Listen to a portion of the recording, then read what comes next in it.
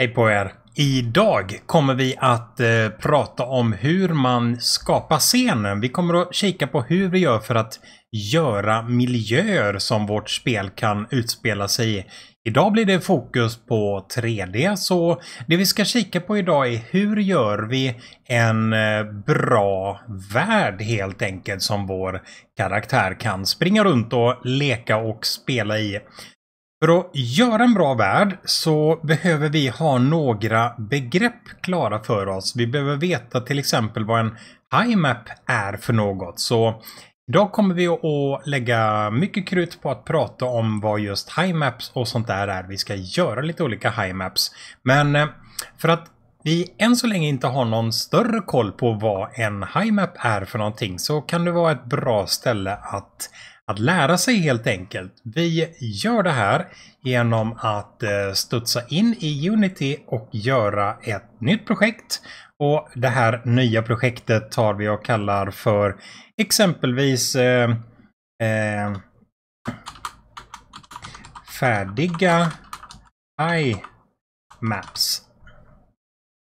Create Project. Och vi väntar en liten stund på Unity att studsa igång det här projektet.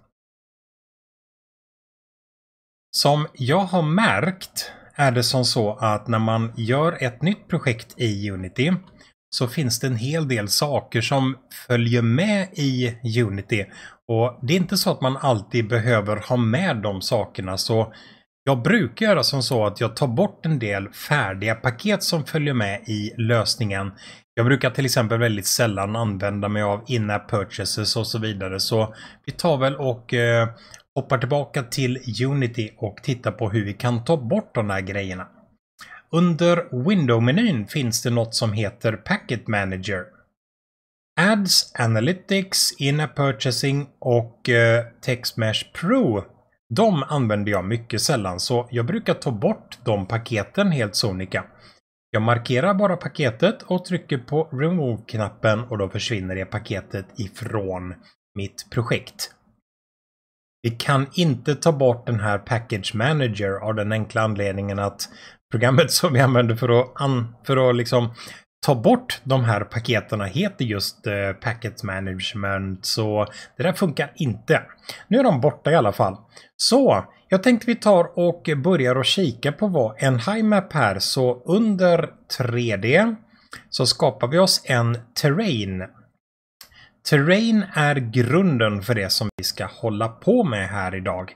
Vi ser i vår hierarchy att vi har fått en New Terrain och i Assets-katalogen har vi även där fått en New Terrain. Vi börjar med att rita lite grann. Vi kan använda den här för att rita höjder. Vi studsar ut i vår värld så ser vi vår värld ungefär där. Om vi tar och ritar lite höjder här i våran värld. Det här blir inte en korrekt värld. Det här är faktiskt bara någonting att, att leka med än så länge. Men eh, i rita på här lite grann i alla fall. Skulle kunna ändra brush size och opacitet en aning så vi får lite mer tryck i världen också. Vi tar den där sprutan förresten. Så. Eh, här kan vi då hålla på och rita våran värld, hur den nu ska se ut. Eh, det där blev ett väldigt högt berg till exempel, men eh, ja, på det där sättet säger vi att vår initiala värld ska se ut. I Unity så har vi nu möjligheten att trycka på kugghjulet för att komma till lite inställningar till det här. Vi trycker på Export RAW-knappen Mest för att se vad som händer. Och vi exporterar den där till skrivbordet exempelvis. Sådär, nu öppnar vi ett eh, grafikprogram som vi inte har eh, använt så hemskt mycket i kursen. Faktum är att vi inte har använt det överhuvudtaget. Vi skulle kunna göra det här i GIMP om vi hade velat. Men eh, för att kunna importera de här RAW-filerna i GIMP så behöver vi ett plugin och det har jag faktiskt inte orkat med att installera. Så därför öppnar jag ett annat grafikprogram. Eh, jag tror att ni eventuellt har sett grafikprogrammet förut. Vi öppnar det här grafikprogrammet och drar in våran RAW-fil som vi har skapat oss. Trycker på OK-knappen. Vad har vi då framför oss här? Här har vi en terräng. När vi skapade vår terräng så genererade vi helt sonika terrängdata. Vi skapade olika höjder i Unity. Om vi kikar på Unity-projektet igen så har vi skapat en terräng med olika höjdskillnader här. Det är det som skapar vår värld helt enkelt. I grafikprogrammet så ser vi att vi har en yta längst ner och vi har berg som går upp. Om vi tittar i grafikprogrammet så ser vi att ytorna längst ner är svarta och bergen är ljusare. En HiMap fungerar på det sättet att ju ljusare en pixel är, desto högre motsvarar det i en terräng. Så en terräng i Unity är helt sonika en bild som är lika stor som världen som vi vill använda oss av. Och den här världen innehåller helt enkelt olika färger. Vi kan... Om vi zoomar in här lite grann så ser vi exempelvis att här har vi helsvart, det betyder längst ner i världen. Och sen så har vi en gråskala som går upp och det här betyder helt enkelt det att vi har en, en terrängkarta i den här världen. Så en terräng är helt enkelt en svartvit bild över hur världen ser ut. Nu stänger vi det där märkliga grafikprogrammet och så använder vi inte det mer i kursen. Så där, vi har alltså skapat oss en terräng i Unity. Och eh, den här terrängen skulle vi kunna öppna ett grafikprogram för att redigera det här. Men jag tänkte vi tar och tittar på vad finns det för sådana här high maps där ute i världen. Jag googlar på RAW High Maps. Och så visar vi bildsvarorna från det. Här ser vi ett stort exempel på massvis med olika bilder. Och eh, för att vara helt säkra på att vi gör det här på rätt sätt så ska vi naturligtvis söka på HiMap som är Creative Commons licensierade eller liknande så att vi inte tar bilder som eh, som inte är rätt så att säga. Vi behöver ju naturligtvis rätt licensform på bilden för att kunna använda det. Men om vi tar någon bild här. Exempelvis eh, den här. Jag kan eh, förresten säga som så att efter ett tag så lär man sig att titta på HiMaps. Man lär sig att se vilka HiMaps som är bra och vilka som inte är bra. Låt oss säga att vi tar den där highmappen. Så vi tar och visar den där filen. Sparar undan den där på skrivbordet än så länge. Jag tror det här är en bild av Grand Canyon om jag inte minns helt fel. Det ser nästan ut lite grann som Grand Canyon. Vi öppnar ett grafikprogram som vi känner till istället. Och drar in vår bild i det här.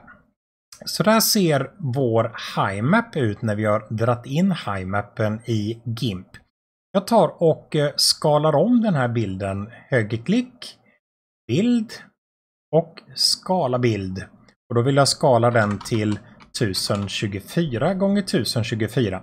Det är nämligen viktigt att en sån här bild är just i rätt upplösning. Den behöver vara 1024 gånger 1024 eller någon annan storlek som är en multipel på 2. Vi kan inte ta en bild som är 719 gånger 612 pixlar. Det går inte. Den måste vara kvadratisk. Den måste ha lika många pixlar på höjden som den har på bredden. Den måste vara kvadratisk och kvadraten måste vara en multipel av 2.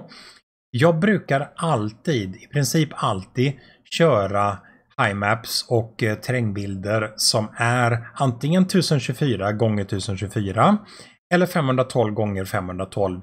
I vissa fall när man vill ha extra mycket detaljrikedom på texturer så kanske man tar en bild som är 2048 gånger 2048 men eh, det viktiga att komma ihåg i alla fall att den måste vara kvadratisk den här bilden.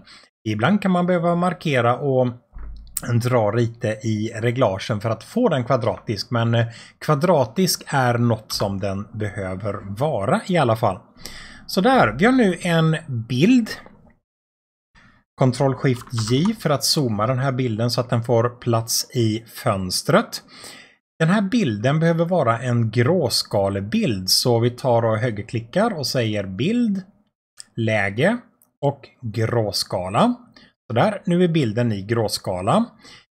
Om vi vill att stigningarna här ska vara lite snyggare, lite jämnare. Vilket vi oftast vill, för oftast vill man ju inte ha en miljö där det är höga terrasser så att säga. Mellan att det ser, att det ser lite Minecraft-trappa ut, det har vi liksom inte lust med. Så ett bra tips där är att eh, lägga på lite oskärpa på den här. Högerklick, filter, oskärpa och eh, exempelvis gaussisk oskärpa. På det sättet så kan vi då helt enkelt ta och eh, bestämma hur mycket oskärpa vi vill ha i våran bild. Vi vill inte lägga på för mycket men ja, en liten touch sådär i alla fall. Det gör helt enkelt det att stigningarna i bilden blir rätt. Den här bilden tycker jag nu är klar, så det vi vill göra nu är att på något sätt få den här bilden att förbli våran terräng i Unity. Så det tänkte jag vi skulle ta och göra nu. Och det är faktiskt inte så hemskt krångligt som man skulle kunna tro. Vi tar i vårt grafikprogram, högerklickar och säger arkiv, exportera som. Vi kan exportera den här till skrivbordet, men vi ska nu välja vilken filtyp det är. Om vi klickar på knappen Välj filtyp och scrollar ner i listan så hittar vi vad det lider eh, rå bilddata. Rå bilddata har filtilläggen .data eller .raw. Här ser vi det också. .data eller .raw är det som vi använder där. Och eh, eftersom vi redan har sett det så vet vi att det är .raw som vi vill använda för det här. Så vi kallar den här bilden för grandscan.raw och ser till att det är rå bilddata och trycker på exportera. Vi får nu upp en eh, fråga vad det är för typ av bild och för att det här ska fungera så ska det vara en planär bild. Det är viktigt. Planär måste det vara, annars kommer den inte kunna läsa in något överhuvudtaget. Så där! Planär och eh, vi har den som en råbild så vi trycker på exportera där. Vi har nu fått en eh, bild, den borde ligga på skrivbordet och eh, den här bilden vill vi använda som en HiMap. Vi studsar in i Unity och under terrängen så ska vi nu skippa den terrängen vi har och vi säger import raw på den här terrängen. Bilden vi vill importera är grandscan.raw. Vi öppnar den där bilden och vi får upp en ruta med lite frågor. Den frågar vilket bitdjup vi använder oss av, hur stor bilden är och vilken byte order vi använder och dessutom om vi ska flippa bilden. Vi tar de här från början. Bit 8 eller alternativet bit 16. Ni kommer att se jättetydligt om ni har skrivit fel där. För har ni tagit fel bilddjup så kommer bara halva, halva kartan att, att, att funka. Liksom. Ni kommer att få en terräng som har massa berg och dalar. Halva terrängen i alla fall. Andra halvan av terrängen blir en backe upp och sen så är det tokplatt där. Då vet man att man har valt fel. Men eh, ingen fara på taket, det är bara att göra om det. 1024 gånger 1024, japp det stämmer. Eh, Byteordern, ja det är en Windows-dator som jag sitter på. Eh, flip Vertically, den vill jag markera i. Anledningen till att jag vill ha Flip Vertically är att bilden som vi importerar kommer helt enkelt att flippas vertikalt och vi ska göra några test sen. Mm, lämpligast är det sen när vi använder texturer och sånt där. Då blir det liksom lättare att se det. Eh, terrängstorleken kan vi också dra på här nere till eh, samma storlek som bilden, 1024 x 1024. Z-led, eller förlåt, Y-led här. Y-led bestämmer ju vilken höjd, alltså från lägsta nivån upp till högsta nivån, vilken höjdskillnad är det där? Vilket värde vi sätter här är inte hela världen, därför att det värdet det kan vi faktiskt ändra i Unity sen. Faktum är att det är bättre att ändra det här värdet i Unity. För eh, då kan vi liksom se världen på riktigt. Än så länge så har vi liksom bara en bild att titta på. Vi drar till med ett par hundra här till exempel. Eller nej, vi låter den stå på 600 som den var. Och trycker på import. Det blev väldigt backigt det här. Vi får nog skala ut och titta på vår terräng. Ja, den här terrängen blev ju inte så hemskt vacker om jag får säga det själv. Som vi ser här i terrängen så är det väldigt mycket Minecraft-trappor överallt. Anledningen till att vi fick dessa Minecraft-trappor är att den här bilden är om vi tittar på hur det ser ut i den här så har vi ganska bra gråskala men inte tillräckligt bra gråskala. Vi använder inte tillräckligt mjuka övergångar på den här. Dessutom så ser det här ut som Klippiga bergen och det vill jag ju definitivt inte ha. Om vi tittade på våran bild så ser vi att vi har väldigt stora färgskillnader här mellan det mörka och det ljusa och här ser vi ett exempel på vad det kan liksom resultera i. För att lösa lite grann av det här så kan vi faktiskt göra det i Unity. Om vi tittar på vår terräng så finns det en ruta där det står Pixel Error. Den värdet, det värdet bestämmer hur mjuka övergångarna ska vara. Den här Pixel Error mjukar till lite grann. Om vi ökar Pixel Error så ser vi här att de absolut kraftigaste stigningarna börjar försvinna. Vi drar upp Pixel Error till en bit här för att se det hela mjukas upp en aning. Så där, nu blev kartan lite mjukare att titta på för ögat och definitivt mjukare att springa i. Men eh, höjdskillnaden tycker jag är lite för kraftig. Om vi tittar på världen från sidan så blir det väldigt stora höjdskillnader i den här världen. Jag vill platta till världen lite. Smidigaste sättet att platta till världen är att i inställningarna för världen har vi en siffra som är 600. Det är siffran på hur hög är världen. Om vi tar och minskar den här 600 till exempelvis 1. Vad får vi då? Då får vi en värld som är platt som ett frimärke. Vi tar och ökar den här siffran till kanske 300. Ja, 300, där, där börjar det faktiskt se lite okej okay ut. Vi har våra berg och dalar och så vidare. Jag tycker den är lite mjuk här så vi skulle kunna fortsätta och greja lite grann med att dra ner pixelerror. Och vi skulle kunna dra ner höjdskillnaden till kanske 200. Ja, vad det lider i alla fall så har vi då gjort oss en värld som vi är någorlunda nöjda med. Det här är i alla fall ett sätt som vi kan använda oss av för att eh, hantera raw high data i. Vi skulle kunna ta och, och fortsätta och bygga på den här världen naturligtvis för att få en eh, värld som ser ut som det vi hade tänkt oss att den skulle se ut som, i alla fall ungefär. Det finns många sätt vi kan skapa sån här high data på. Jag tänkte att eh, tydligen så kan man ju ta nästan vad som helst att göra himaps av. Så vi tar väl och kika kikar på lite andra sätt. Vi tar fram vår bildsök igen och så söker vi på någonting helt annorlunda. Eftersom, eftersom jag verkligen känner för det så varför inte en bild på en presskrage? Vi tar den här bilden på en prästkrage. Har vi någon som är stor och fin? Där har vi en bra prästkrage. Vi tar bilden på prästkragen och sparar undan på skrivbordet. Studsar in i GIMP, våran grafikhanterare. Tar bort alla eventuella ändringar i den där och drar in vår prästkrage i bilden. Så där så ni ser allting också. Ctrl Shift J för att zooma ut i den där. Vi ska nu använda den här presskragen som bilddata.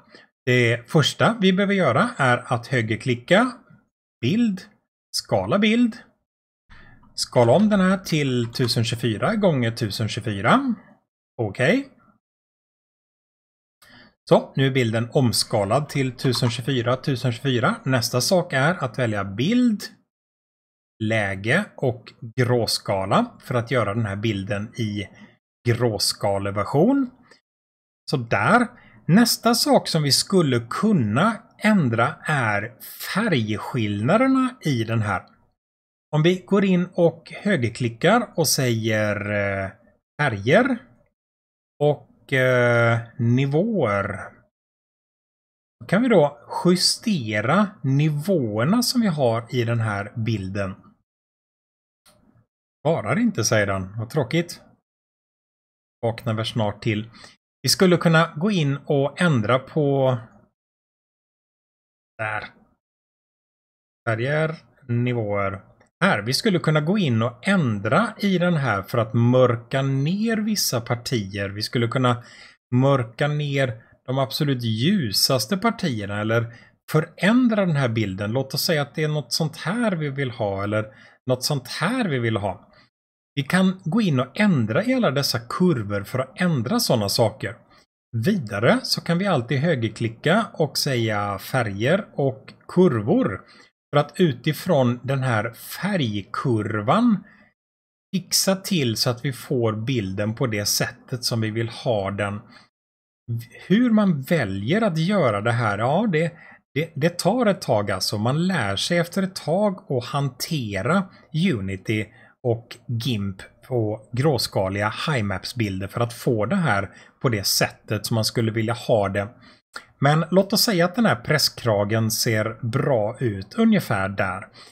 Eh, den här bilden vill vi använda som en HiMap. Så återigen så högerklickar vi och säger exportera. Välj filtyp. Långt ner i listan hittar vi rå bilddata. Och så sparar vi den här bilden som presskrage.raw på skrivbordet. Ni är med på va? Att vi måste ha planär vald och sen trycker vi på exportera. Studsar in i Unity. Hittar våran terräng och den terrängen vill vi skippa så vi klickar på import raw igen. Den nya bilden som var en presskrage tar vi och helt enkelt öppnar och importerar. Höjdskillnaderna ser lite, lite kraftiga ut. Vi tar och drar ner höjdskillnaderna lite grann. Eh, pixel error var lite kraftig.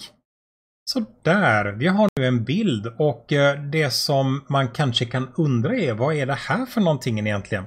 Om vi tar och tittar på vår terräng uppifrån. Zoomar ut lite grann så ser vi mycket riktigt. Här är presskragen som vi hade. Den här presskragen var ju en bild vilken som helst och eh, den här presskragen eller vad det är nu för bild som vi vill använda oss av kan vi faktiskt köra in i Unity och eh, efter lite grafikbehandling i GIMP så kan vi då använda precis vad för bild som vi önskar helt enkelt att använda som just data för att kunna skapa oss våran HiMaps. Så att generera en HiMaps det är ingen större nödvändighet att, att helt enkelt ha något speciellt program för det där. Vi kan använda vilken bild som helst för att generera våran HiMap helt enkelt.